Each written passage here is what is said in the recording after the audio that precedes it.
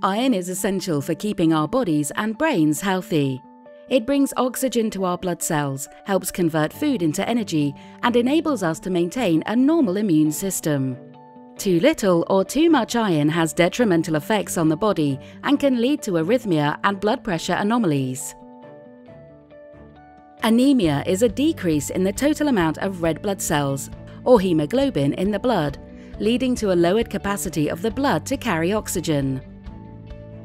The most common type of anemia is caused by lack of iron, such as in blood loss or extra need of iron, as in pregnancy.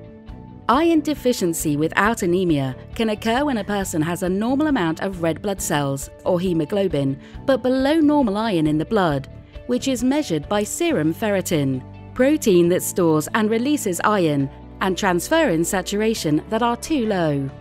Anemia and iron deficiency are two important comorbidities in heart failure.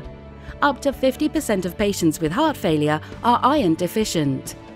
The consequences of iron deficiency in heart failure include reduced functional capacity, increased risk of hospitalization, increased symptoms, and poorer quality of life.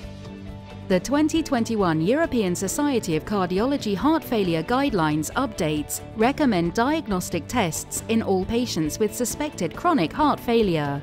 And for all patients with heart failure, it is recommended that they are periodically screened for anemia and iron deficiency. Intravenous iron is the recommended treatment to alleviate heart failure symptoms and improve exercise capacity and quality of life.